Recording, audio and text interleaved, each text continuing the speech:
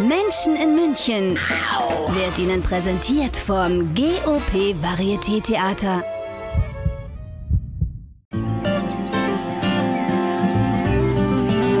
Menschen in München mit Jörg van Hofen. Herzlich willkommen, liebe Zuschauer, zu Menschen in München.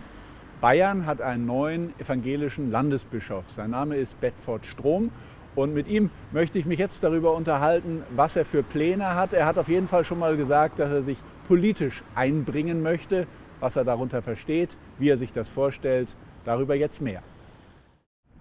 Herr Landesbischof, ja. seit wenigen ja, Tagen, Wochen sind Sie jetzt im Amt. Äh, wie fühlen Sie sich?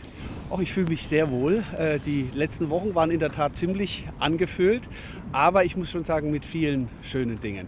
Äh, was, äh, was besonders schön ist, einfach wie die Menschen reagieren, wie, mit welcher Herzlichkeit sie mir da entgegenkommen. Das ist ansteckend und gibt mir einfach ganz viel Freude jetzt in den ersten Tagen und das Gefühl, ich habe da eine, eine wunderbare Möglichkeit in den nächsten zwölf Jahren, das, worum es uns als Kirche geht, die Liebe Gottes äh, in der heutigen Welt zu bezeugen, das auch wirklich öffentlich und laut zu sagen und mit vielen Menschen äh, da in Kontakt zu kommen. Das ist eigentlich äh, das, was mir bisher am allermeisten Freude macht. Einfach mit Menschen, Begegnung mit Menschen. Wenn wir noch mal kurz zurückblicken, ähm, Ihre Wahl, die war ja richtig spannend. Ne? Das waren ja, ja. sechs Wahlgänge. Äh, Sie hatten also die Frau Breit-Kessler und noch einen weiteren ja. Gegner ja. Äh, oder Konkurrenten, wohl besser gesagt. Ich sag ähm, mal Mitkandidaten. Mitkandidaten. Ähm, renkt sich sowas dann wieder ein, weil ja alle sozusagen ihre, ihre Truppen ja. hinter sich haben, die sie ja jetzt irgendwie alle wieder unter einen Hut bekommen müssen. Ja, das ist interessant, wie Sie, das jetzt, wie sie die Frage stellen, dass Sie Ihre Truppen hinter sich haben müssen. Äh, ich sage Ihnen ganz ehrlich, ich habe das selber nie so empfunden. Okay. Und ich glaube auch, ich glaube, ich mache mir da auch nichts vor. Ich glaube, es war wirklich in dieser Synode nicht so. Mhm. Wir alle drei haben äh, ein ganz herzliches Verhältnis zueinander. Das war auch schon vor der Wahl so. Wir wissen, es ist äh, eine Wahlentscheidung Entscheidung. In der Hinsicht sind wir dann auch Konkurrenten. Mhm. Aber das stand für mich nie im Vordergrund. Äh, jeder und jede dieser drei Kandidaten wäre ein guter Bischof, eine gute Bischofin gewesen. Mhm. Und das haben auch die Synodalen so gesehen. Äh, zum ersten Mal in der Geschichte der Landeskirche war es ja so, dass äh, die drei verschiedenen Gruppen in der Synode ja. Alle miteinander alle drei Kandidaten vorgeschlagen haben. Mhm. früher gab es das eben eher so, dass, äh, dass dann jeder Arbeitskreis, jede Richtung so ihren Kandidaten positioniert hat. Und es war diesmal nicht so. Und das fand ich ganz toll. Und es ist ein bisschen auch äh, eigentlich das Gefühl, was ich mit dieser Synode habe. Synode ist unser Kirchenparlament. Also ganz, ja. ganz wichtig, äh, dass, dass wir nicht da jetzt äh, mit verschiedenen Richtungen da gegeneinander kämpfen, sondern dass es uns wirklich um die eine Sache geht. Mhm. Und das ist auch der Geist, in dem wir jetzt zusammenarbeiten. Also ich habe mit Susanne Breit-Kessler und Helmut Völkel schon jetzt in den letzten Monaten vieles gemeinsam besprochen, geplant. Gleich haben wir Landeskirchenratssitzung, wo wir alle dabei sind. Äh, und das ist ein ganz herzliches Verhältnis. Als, als Mann in dem neuen Jahrtausend hat man ja mittlerweile auch schon ein etwas anderes Gefühl, wenn man gegen Frauen konkurriert, weil überall wird ja von Frauenquote gesprochen. Man sagt also, Frauen müssen mehr in, ja. in, in Führungspositionen. In, inwieweit hat Sie das ähm, bewegt bei ja. Ihrer Kandidatur? Das habe hab ich mir schon überlegt. Äh, denn es ist ja richtig, dass äh, wir mehr tun müssen, damit Frauen in Führungspositionen kommen. Mhm. Und es hätte natürlich ein Grund sein können für mich zu sagen, ich kandidiere gar nicht, damit ich einer Frau nicht im Wege stehe. Mhm. Das ist eine völlig äh, naheliegende Überlegung. Äh, ich habe mich entschieden, trotzdem zur Verfügung zu stehen, weil es im Grunde paternalistisch, herablassend gewesen wäre. Wenn ich jetzt gesagt hätte, damit eine Frau Bischöfin wird, kandidiere ich nicht. Mhm. Äh, am Ende entscheiden das die Synodalen. Äh, wir haben alle unsere Profile und äh, die Synodalen haben jetzt so entschieden und äh, die Bischofswahl ist eine Persönlichkeitswahl, bei der viele Faktoren zusammenkommen. Da spielt sicher auch die Frauenfrage eine Rolle, richtigerweise. Mhm. Aber es ist eben eine von mehreren Aspekten. Äh, und äh, ich denke, äh, dass man es jetzt auch nicht allein daran festmachen sollte, ob in unserer Kirche Frauen in Führungspositionen kommen. Wir haben jetzt eine Situation in anderen Landeskirchen, wo in Hamburg eine Frau gewählt wurde zur mhm. Wir haben in Westfalen eine Wahl zwischen zwei Frauen. Da können wir also sicher sein, dass eine Frau die nächste mhm. Bischöfin dort sein wird, sodass wir insgesamt in der Kirche in Deutschland, glaube ich, ganz gut auf dem Wege sind.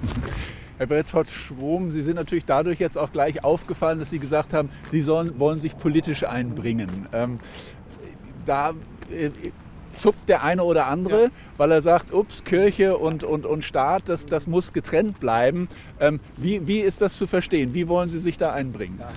Zunächst mal muss man ganz klar sagen, äh, dass die Kirche einen politischen Auftrag hat hat zunächst mal gar nichts mit Parteipolitik zu tun. Das ist mal das Allerwichtigste. Es wäre fürchterlich, wenn die Kirche jetzt meinen würde, sie müsste sozusagen die besseren politischen Konzepte vorlegen äh, und würde in der Weise politisch äh, agieren.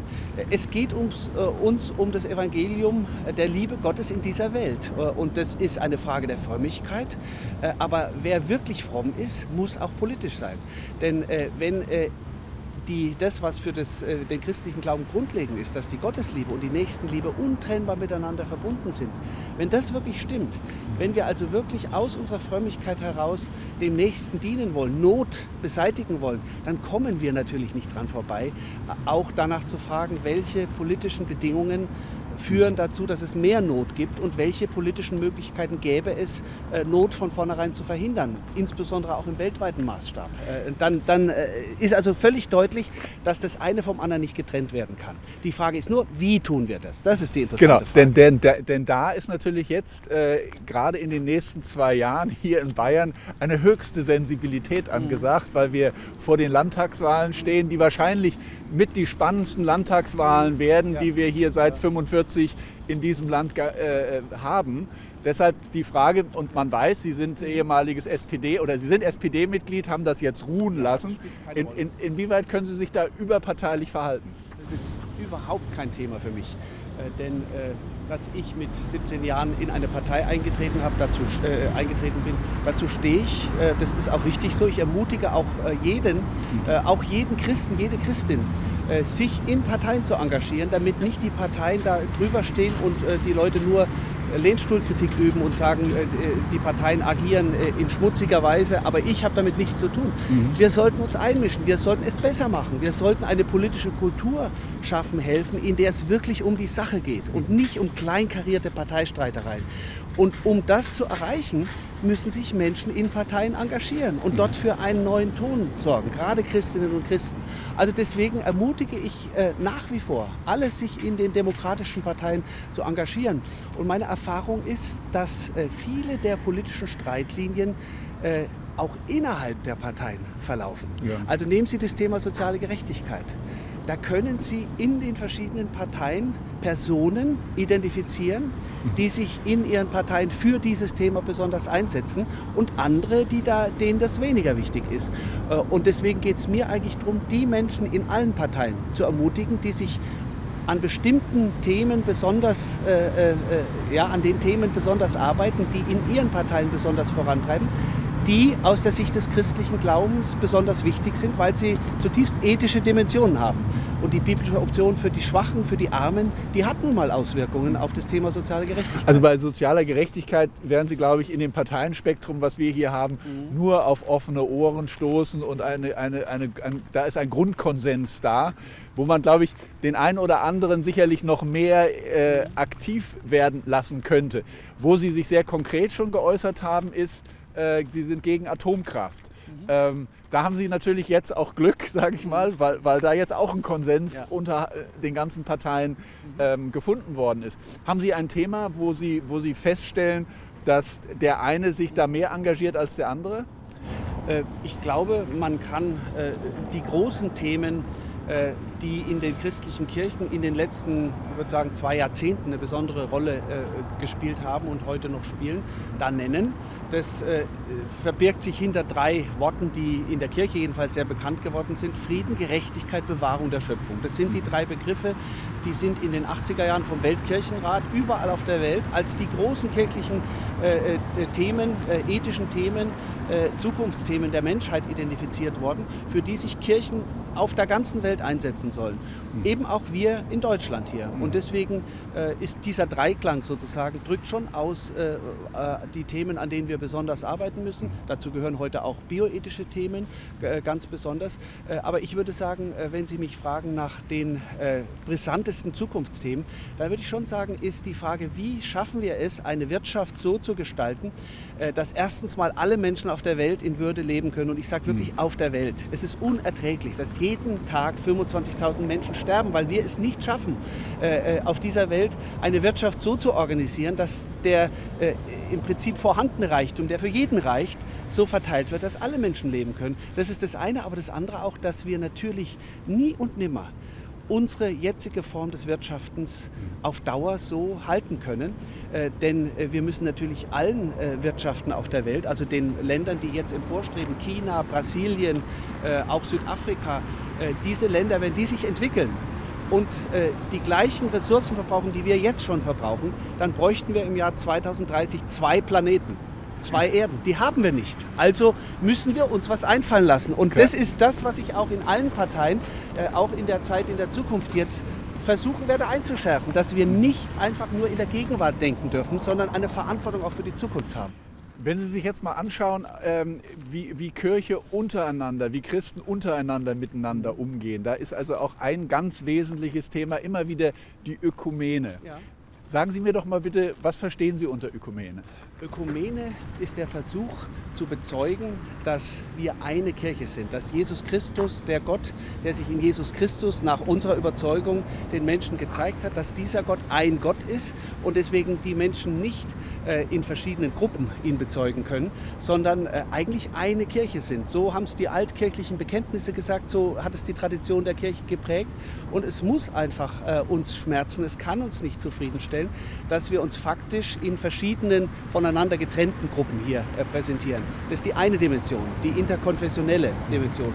Die zweite Dimension ist mir aber genauso wichtig, nämlich die weltweite Dimension. Mhm. Dass wir äh, auch zwischen den Kulturen den einen Gott äh, bezeugen. also die Menschen in Afrika, die ganz andere kulturelle Hintergründe haben und die Menschen hier beten zu dem gleichen Gott, haben aber höchst unterschiedliche Formen und verstehen auch zum Teil biblische Texte höchst unterschiedlich, weil sie halt ganz anders geprägt sind. Und ich möchte eine Kirche, in der wir diesen Reichtum für uns wirklich nutzen, in der wir also lernen von anderen und unseren eigenen Glauben und unsere Existenz in der Welt bereichern lassen durch die Perspektive der anderen. Und wenn man dann aber sieht, wie die äh, katholische Kirche und die evangelische Kirche miteinander ringen seit äh, Jahrzehnten, jetzt sind es fast schon Jahrhunderte, ähm, Warum tun sie sich das an? Ähm, denn, denn wenn, wenn man mit, mit, mit wirklich ich sage mal, eingefleischten Katholiken spricht, ja. die sagen, die Protestanten, das ist eine Sekte. Mhm. Gut, äh, das können Sie so sagen. Äh, das würde ich sagen, ist eher dann deren Problem, wenn Sie sozusagen die, äh, den Glauben so, so einseitig verstehen und so wenig offen auf die, diese Frage der Ökumene zugehen. da würde ich jetzt gar kein so großes Problem drin sehen, denn das sind sehr wenige in der, äh, in der Kirche, egal in welchen Konfessionen. Das gibt es auch auf evangelischer Seite.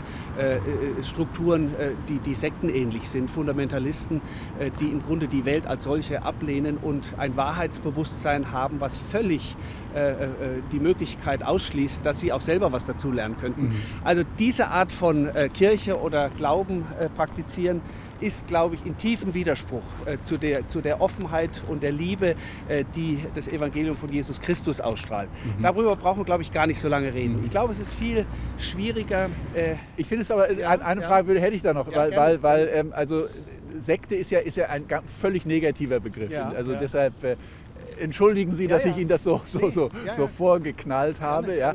Aber, aber wenn man sich überlegt, was ist eine Sekte? Eine Sekte ist ja eigentlich immer die Abspaltung von der Mutterreligion, oder? Also, das würde ich nicht so äh, definieren. Äh, denn äh, Abspaltung von der Mutterreligion, das kann ganz unterschiedlich verstanden werden. Also die Reformation zum Beispiel, wenn Sie mhm. das jetzt nehmen, der, der evangelische Glaube, hat sich ja nie verstanden als Abspaltung, sondern hat sich immer so verstanden, dass die eigentliche Wahrheit der allgemeinen Kirche Und äh, allgemein kann man auch mit katholisch übersetzen. Und katholisch im eigentlichen Sinne heißt ja nicht römisch-katholisch als Konfession, sondern das heißt ja die allgemeine, allumfassende Kirche. Mhm. Und selbstverständlich versteht sich die evangelische Kirche auch als allgemeine, allumfassende Kirche mhm. und äh, steht in der Tradition dieser einen Kirche. Und in der Reformationszeit ging es darum, dass es bestimmte Missstände gab, gegen die Martin Luther äh, protestiert hat mhm. und denen gegenüber er äh, äh den Anspruch erhoben hat, die ureigene Stimme des Evangeliums, also der Kirche, wieder neu zur Geltung zu bringen. Das ist also keine Abspaltung, sondern das ist eine Form, die äh, allgemeine Kirche zu bezeugen. Ja. Und äh, die, äh, Martin Luther wollte nie eine eigene Kirche gründen. Mhm. Es ist dann leider dazu gekommen, äh, in diesen Auseinandersetzungen in der Reformation, dass es zu dieser Spaltung gekommen ist. Äh, aber man kann nicht sagen, die evangelische Kirche hat sich von der katholischen abgespalten, sondern äh, es ist einfach eine Unterschiedlichkeit in der Interpretation der Glaubenszeugnisse entstanden, ja. Die dann zur Teilung geführt hat. deswegen sage ich jetzt, die Reformation nach Ihrer Definition müsste man sie als Abspaltung definieren. Nee, ich will das gar nicht definieren. Ja, ja, ich, ich, ich will eigentlich Nur, nur fragen, wie Sie darüber denken, weil, weil, es, weil es diese, diese Denke ja gibt. Ja, das, das, denn ich, also, ich wollte eigentlich mit Ihnen dann noch weiter zurück und Sie mal fragen, ähm, vielleicht hat sich ja auch die katholische Kirche vom Judentum abgespalten. Das kann man, äh, also das Wort Abspaltung passt da nicht. Oder getrennt ist, oder eigene Wege gegangen. Äh, man kann historisch natürlich zeigen, wie äh, das Christentum zunächst eine jüdische äh, Gruppe war. Äh, und insofern Jesus Christus war Jude. Äh, und die Menschen, die, ihn, die ihm nachgefolgt sind, die Jünger, waren natürlich Juden.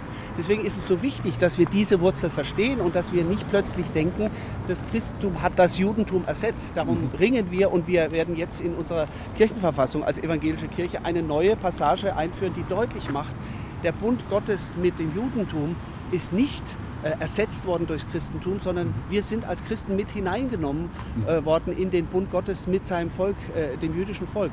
Äh, und äh, wenn man das jetzt als Hintergrund hat, dann kann man in der Tat sagen, die ersten Christen waren auch Juden.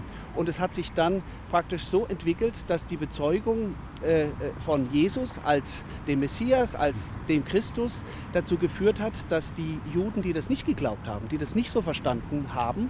äh, als äh, Judentum weiter existiert haben, bis heute existieren, als eine Religion, als unsere Wurzel in gewisser Weise.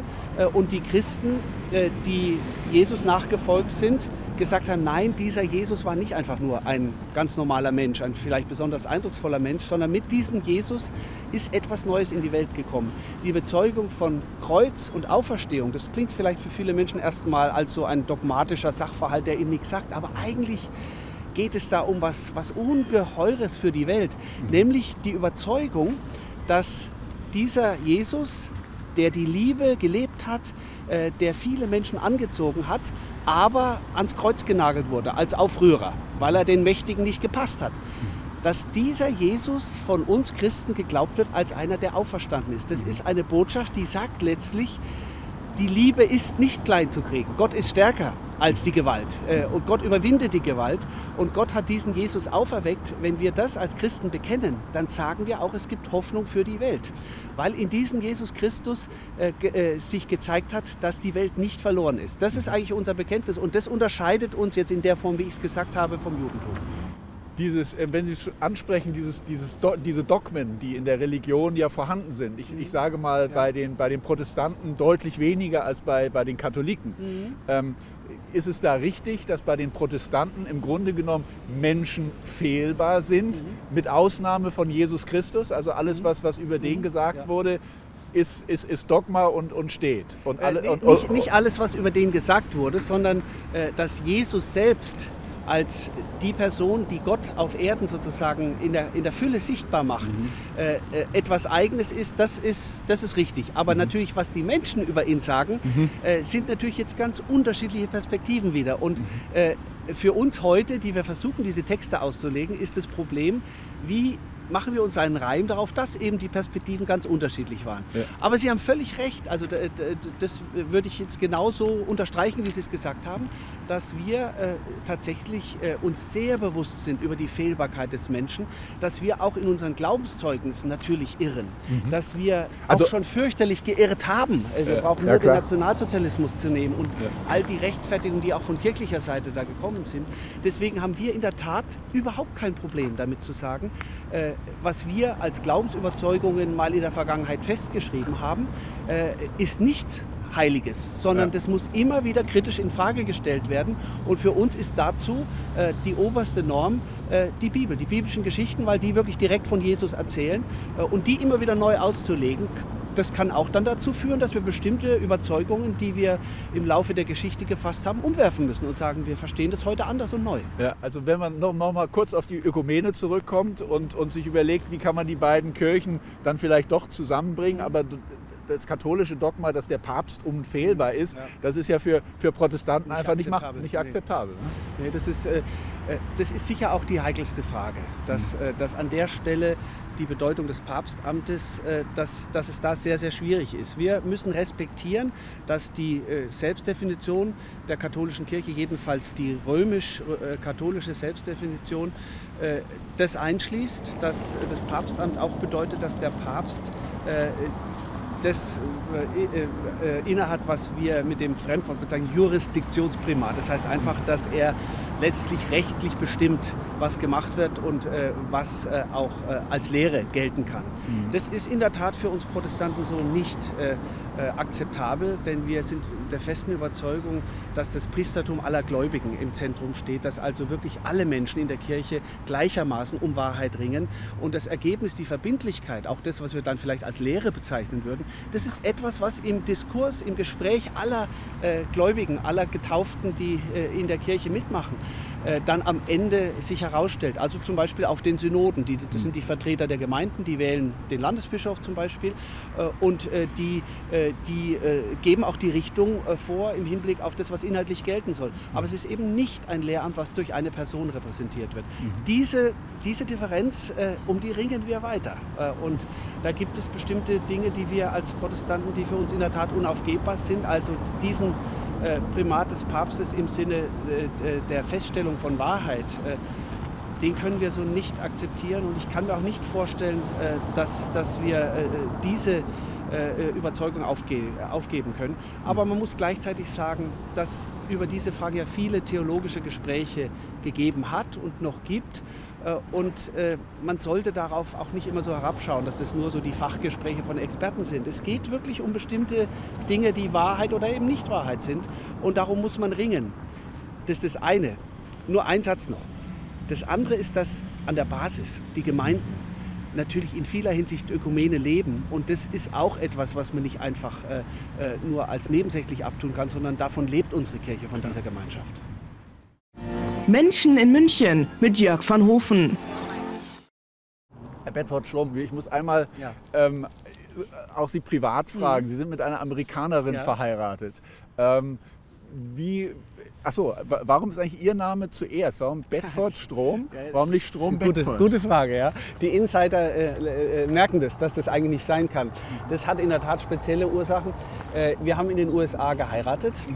äh, und nach amerikanischem Namensrecht geht es, dass man äh, die Namen einfach zusammennimmt äh, und dann die ganze Familie so heißt. Also meine Frau und ich und meine drei Söhne haben alle den Nachnamen Bedford Strom.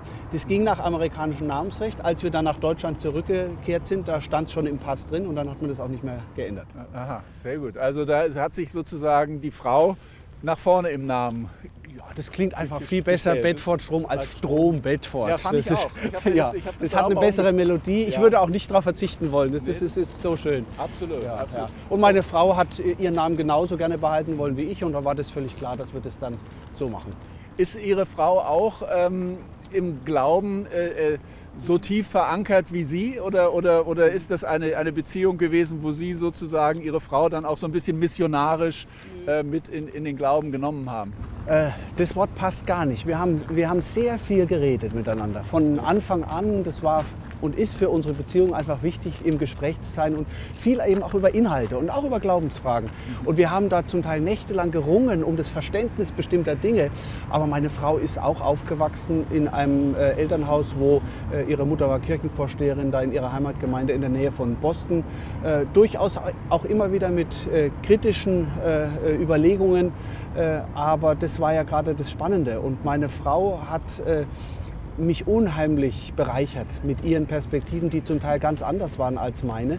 Und um das Verständnis des christlichen Glaubens zu ringen, äh, das war ein Teil unserer Beziehung, der bis heute mir ungeheuer wichtig ist. Also Thema Rechtfertigungslehre, das ist ja so ein, ein, äh, eine, der Kern der evangelischen Lehre.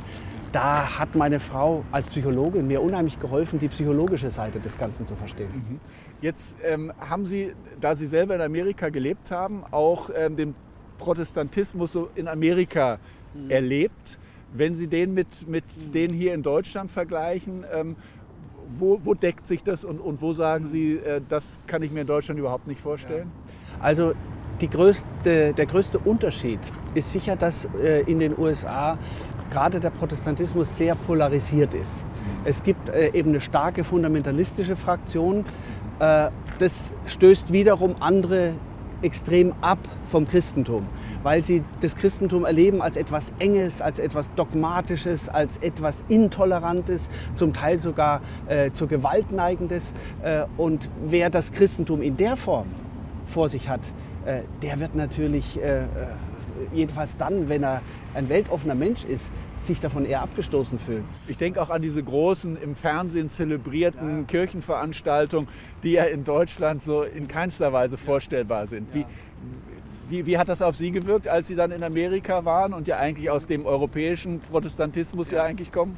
Ja, also für den nüchternen Europäer ist es natürlich manchmal schon etwas äh, merkwürdig, diese stark emotionalen äh, großen Versammlungen. Aber ich will auch sagen, äh, dass wir davon was lernen könnten. Äh, also wir sind manchmal zu nüchtern und, und äh, Gefühl und auch Gemeinschaftsgefühl und Lust am Glauben und das auch auszudrücken, äh, das ist etwas, äh, das habe ich auch sehr positiv erlebt, insbesondere in der Schwarzen Kirche. Die hat mich sehr geprägt, die Schwarze Kirche in den USA. Äh, in, in, Oakland als Student habe ich da ein Jahr lang in einer schwarzen lutherischen Gemeinde mitgemacht. Das ist mir sehr im Herzen und das, das hat mich auch geprägt. So, da, da, ist sehr viel Gospel angesagt. Ja, nicht? Genau. Und, und ist, ist das nicht vielleicht auch ein Problem der protestantischen Kirche hier bei uns in Deutschland? Ich sage es jetzt mal ja. wirklich in Anführungszeichen, mhm. dass es auch ein bisschen langweilig ist bei den Protestanten. Ja. Ich würde jetzt eigentlich nicht sagen, dass es jetzt speziell was Protestantisches. Ähm, äh, also die Gottesdienste sind jetzt in, in der Hinsicht, glaube ich, in evangelischer und katholischer Kirche nicht äh, sehr unterschiedlich. Äh, dass sozusagen diese starke, das starke Gefühl und das zum Ausdruck bringen des Gefühls dass das jetzt in den Konfessionen irgendwie unterschiedlich wäre. Ich habe damit ja. gemeint, auch also wenn man in einem katholischen Gottesdienst mhm. ist, dann ist da Weihrauch, dann sind die, ja, haben die andere, äh, ja. die, die Kirchen, die, die, ja, die Kirchen sind geschmückter als bei den Protestanten. Das ist ja sehr spartanisch, weil Martin Luther das ja auch so wollte. Der wollte sich ja wirklich auf den Kern besinnen und alles andere wollte er ja abschaffen. Aber aus heutiger Sicht, wo sie ja natürlich auch Probleme haben, dass, dass sehr viele Kirchenaustritte da mhm. sind, wäre da nicht ein, ich sage mal, eine andere, der Marketing, Sinnlichkeit. ja, Sinnlichkeit, äh, der Marketingmann würde sagen, Verpackung wichtig. Äh, also das ist ein Punkt, über den müssen wir in der Tat nachdenken. Also wie, wie der Geruchssinn, die Augen, die Schönheit, mhm. äh, wie das vielleicht unsere Gottesdienste noch stärker äh, äh, prägen könnte. Zu schauen, die schönen Gottesdienste des Herrn, heißt es im Psalm 27. Äh, und äh, was schöne Gottesdienste äh, sind, das müssen wir sozusagen immer wieder neu lernen. Und das ist mir persönlich auch sehr wichtig. Ich hatte natürlich jetzt einen wunderschönen Amtseinführungsgottesdienst in Nürnberg, der mir mein Leben lang im Herzen bleiben wird. Und der, glaube ich, aber es war natürlich ein besonderer Anlass, der, glaube ich, gezeigt hat, welche Kraft auch protestantische, evangelische Gottesdienste haben. Viele Menschen haben mich darauf angesprochen. Wunderschöne Musik, wichtiger Aspekt. Mhm. Äh, dann, äh, dann auch äh, optisch äh, eine würdige und äh, vielleicht auch farbige Gestaltung. Mhm. Äh, das ist etwas, was man auch über diesen besonderen Anlass hinaus äh, glaube ich, in unseren Gottesdiensten nochmal neu betonen kann. Auch das Gemeinschaftselement, dass wir zum Beispiel beim Abendmahl, am Ende des Abendmahls, äh, wenn wir den Segen äh, bekommen, dass wir uns an den Händen fassen und dass die Gemeinschaft des Abendmahls auch sinnlich mit der Haut sozusagen spürbar ist. Äh, das ist etwas, was ich eigentlich bei den Gottesdiensten, die ich selber gehalten habe und wo ich das dann auch so praktiziert habe, immer sehr geschätzt habe. Dass man sozusagen das spürt, im Herzen spürt, Klar. was da geredet wird. Es muss so eine Emotionalität ja. halt auch, auch ja. rüberkommen. Mhm. Wie ist das? Gerade bei den jungen Leuten. Also mhm. bei den jungen Leuten hat man ja das Gefühl, ähm, dass sich da immer mehr auch von den mhm. Kirchen abwenden. Gibt es da ein Konzept, wie man sagen kann, die jungen Leute wollen mhm. wir wieder gewinnen? Ja. ja, das ist in der Tat etwas, was mir sehr wichtig ist, weil ich die Erfahrung mache, auch im Kontakt mit jungen Leuten. Wenn man so im Gespräch ist und über die Themen redet, merkt man, im Grunde sind die Themen, um die es beim christlichen Glauben geht, alles Themen, die das Leben der jungen Leute auch prägen. Also an den Themen liegt es nicht, dass es inhaltlich nicht relevant wäre. Und wir müssen sozusagen in der Tat äh, neue Wege finden, um das deutlich zu machen, dass das ganz viel zu tun hat mit dem Leben der Jugendlichen. Und da gibt es zwei Punkte, die mir wichtig sind. Das eine ist in der Tat der Gottesdienst. Da haben wir in Nürnberg äh, äh ein, äh, eine Jugendkirche, Lux heißt die.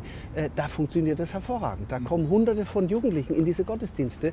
Und da möchte ich gerne dran am Ball bleiben und sehen, wie können wir das, was da funktioniert, auch anders anderswo vielleicht umsetzen. Und das Zweite ist Social Media, Internet, äh, die Lebenswelt der jungen Leute heute. Äh, da möchte ich gerne, dass wir da präsenter sind als bisher. Ich habe immer überlegt, also diese, diese, der Fall der Mauer, mhm. das war ja im Grunde genommen auch eine sehr starke Entwicklung, die auch durch die protestantische Kirche mhm. mit herbeigeführt wurde. Mhm. Hat die protestantische Kirche da vielleicht auch ein bisschen verschlafen, die, den Moment, wo man gesehen hat, dass da also auch viele junge Leute so unheimlich aktiv waren und auch wirklich was bewegt haben. Das ist doch eigentlich jetzt wieder völlig eingeschlafen. Ja, ich meine, das, äh, die DDR-Revolution, ist nochmal ein eigener Fall, denn da äh, hat es auch sehr viel damit zu tun gehabt, dass die Menschen die evangelische Kirche als den Raum äh, äh, gefunden hatten, an dem sie äh, wirklich auch ihre Überzeugung zum Ausdruck bringen äh, konnten, tolle, an dem sie ja. protestieren konnten, ja. im, im, guten Sinne des Protestantismus ja. auch. Äh, und die sind dann zum Teil auch in politische Positionen gekommen, die sich da politisch engagiert haben und sind eben eher dann in andere Bereiche abgewandert, als dass sie sozusagen ihre Kirche in Ostdeutschland, in der früheren DDR dann aufgebaut haben. und insofern hat es jetzt verschiedene Ursachen, dass, dass das es so nicht weitergegangen ist, wie man sich damals auch erhofft hat. Aber ich will auch sagen, es gibt eine Menge an, gerade in äh, Ostdeutschland, eine Menge an sehr ermutigenden Beispielen, wo gerade junge Leute äh, die Gemeinden prägen. Ich komme jetzt gerade aus Magdeburg von der Synode. Äh, da haben wir das wieder vorgeführt bekommen, wie gerade in den Gebieten, wo das Christentum äh, die starke Minderheit ist, wie es gerade junge Familien sind, die die Taufe neu entdecken. Die, die, und wir haben einige Beispiele da wirklich gesehen, äh, die, äh, die vielleicht gerade in der Umgebung merken, äh, dass da was fehlt, wenn der Glaube nicht da ist. Sie haben ja jetzt lange in Coburg gelebt. Ja. Kommen jetzt nach München. Mhm. Ähm, in München, wenn wir jetzt mal von anderen Religionen sprechen, ja. haben wir jetzt gerade hier seit fünf Jahren ähm, das jüdische Zentrum. Die, äh, die, die, Synagoge ist gebaut worden. Ähm, dazu würde ich gerne was von Ihnen mhm. hören und dann eben auch zu der Frage, was schuldet man jetzt dem Islam in unserer Stadt? Das ist auch ein, ein sehr intensives ja. Thema, was hier besprochen wird. Brauchen wir eine Moschee? Wo muss sie hin? Soll sie mitten in die Stadt? Was ist da Ihre Meinung? Also äh, zu der Frage will ich mich jetzt noch nicht äußern. Da muss ich einfach München besser kennenlernen. Äh, aber die grundsätzlichere Frage, dazu habe ich natürlich eine, eine nachdrückliche Meinung, äh, nämlich dass Muslime hier in Deutschland zu Hause sind. Ich sage bewusst nicht willkommen geheißen werden müssen oder ähnliches, denn sie sind hier, sie sind Deutsche, sie sind Teil unserer Kultur geworden. Äh, und, äh, und das, diese Selbstverständlichkeit, äh, die ist etwas, was wir auch von christlicher Seite her unterstützen können. Aus der Sicht des christlichen Glaubens ist es eben falsch, für das Christentum so zu kämpfen, dass man anderen Religionen die Lebensmöglichkeiten versucht, so weit wie möglich vorzuenthalten, sondern äh, ich stelle mir eine Gesellschaft vor, in der die verschiedenen religiösen Traditionen friedvoll miteinander leben, sich wechselseitig bereichern. Und das heißt für mich als Christ, dass ich mit großer Lust Christ bin, das auch äh, deutlich zum Ausdruck bringe, aber doch nicht aggressiv gegen Muslime, sondern so, dass ich Freude daran habe, dass Menschen in ihrer Religion leben. Äh, und äh, ich habe beste Erfahrungen äh, im Gespräch mit Muslimen äh, gemacht, äh, weil sie sind einfach liebenswürdige Menschen, mit denen zusammen sein Spaß macht, Freude macht. Und dieses, diese Vision sozusagen stelle ich mir auch für München, für ganz Bayern, für ganz Deutschland vor, äh, dass wir Orte schaffen, wo Menschen sich begegnen. Dazu gehört natürlich eine Moschee, die auch äh, ausstrahlt auf die Stadt, die eine öffentliche Theologie des Islam vielleicht entwickelt äh, und äh, vom Islam her, äh, den Friedenstraditionen des Is Islam her äh, in die Gesellschaft hineinwirkt, anstatt dass immer nur Fundamentalisten im Islam das Wort führen und der Islam bei manchen Leuten im Kopf als etwas erscheint, was nur gewalttätige Religion ist nochmal etwas naiver gefragt. Ähm, die Aufgabe der Mission, widerspricht das dem nicht, was Sie gerade gesagt haben? Weil Sie ja eigentlich auch dafür Sorge tragen müssen, so ist ja das Grundverständnis des, des Christen, dass er Menschen in die äh, eigene Religion sozusagen hinüberzieht. Ja, äh, natürlich ist Mission eine äh, wesentliche Dimension der Kirche. Daran kann gar kein Zweifel sein. Wer das Evangelium äh, für sich behalten will, der hat wichtige Passagen in der Bibel nicht verstanden. Ihr seid das Licht der Welt und wir sollen es nicht unter den Scheffel stellen. Also äh, das ist völlig klar. Nur die Frage ist, was heißt Mission? Und darüber haben wir gerade in, in unserer Synode in Bayern, aber jetzt auch gerade bei der EKD-Synode viel geredet.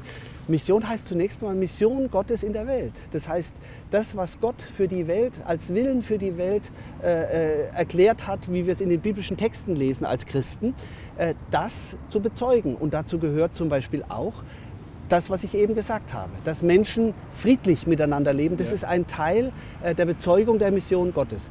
Und dann heißt es natürlich, dass wir mit Lust von dem erzählen, wovon wir leben.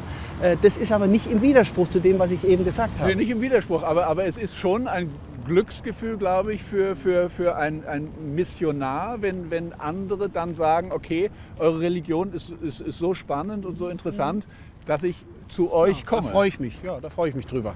Ich freue mich über jeden Menschen, äh, der äh, diese Botschaft neu entdeckt und der auch zu uns stößt und, und der dann auch Mitglied, auch so, so institutionell soll man es dann auch sagen, der Mitglied unserer Kirche wird.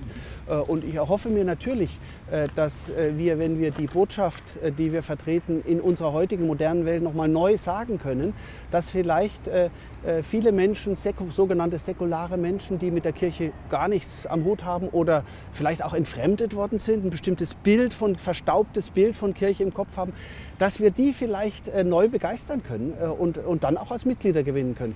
Aber ich möchte den anderen Menschen nicht zuerst als potenzielles Mitglied sehen, sehen, sondern als Mensch. Und das ist nämlich die Mission Gottes zu bezeugen, den anderen Menschen zunächst mal als Mensch zu sehen äh, und nicht äh, immer nur auf Mitgliederfang zu sein, so sehr wir uns dann freuen, wenn die Menschen beitreten.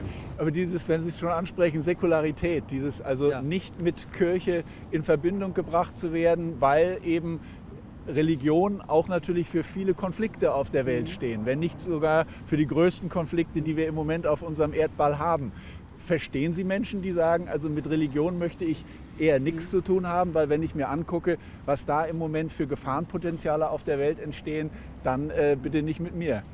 Ich verstehe zunächst mal, wenn Menschen, die schlechte Erfahrungen mit Religion gemacht haben oder äh, die Weltsituation so deuten, dass Religion sie als Ursache für Gewalt sehen, ich verstehe, dass die äh, entfremdet sind von Religion. Das verstehe ich sehr gut.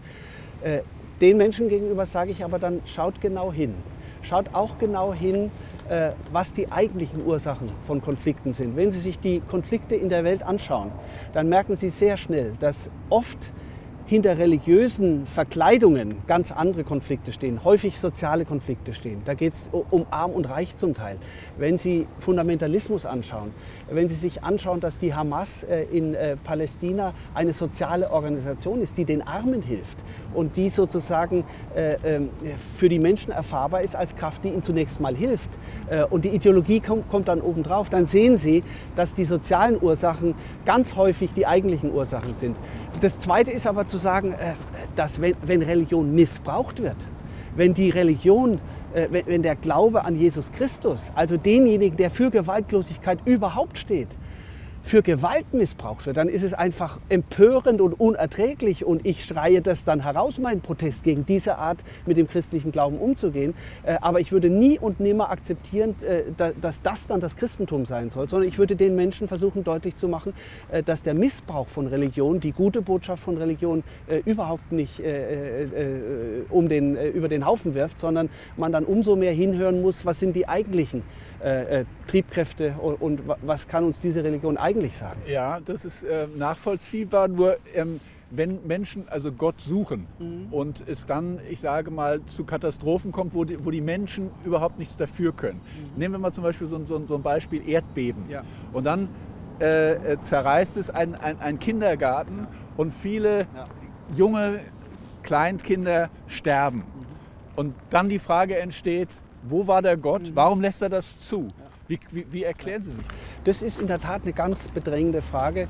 Äh, die muss eigentlich jeder Christ selber auch haben. Äh, und in der Bibel gibt es viele Beispiele äh, für eine Klage. Zum Beispiel der Prophet Jeremia. Der schreit den Protest gegen Gott. Genau wegen solcher Dinge schreit er geradezu heraus und will sozusagen nichts mehr mit Gott zu tun haben. Das sind alles Texte der Bibel, die das zum Ausdruck bringen. Insofern, wer das denkt, wer so fühlt, ist zunächst mal äh, äh, jemand, der mit den Menschen in der Bibel äh, äh, ganz geschwisterlich sozusagen auf einer Stufe steht. Und uns selber geht es ganz genauso.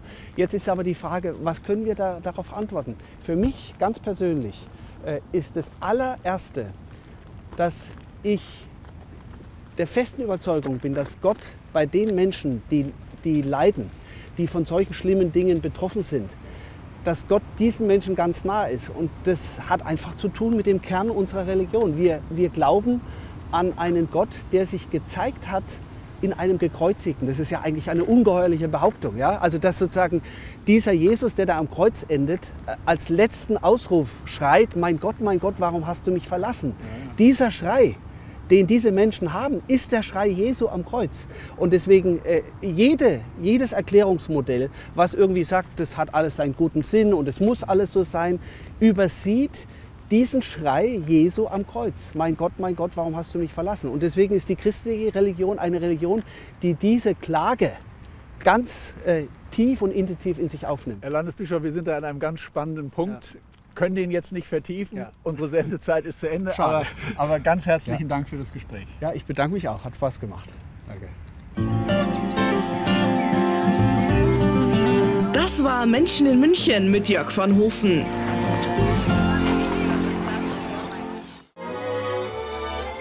Menschen in München wurde Ihnen präsentiert vom GOP Varieté Theater, Europas führendem Varieté-Unternehmen.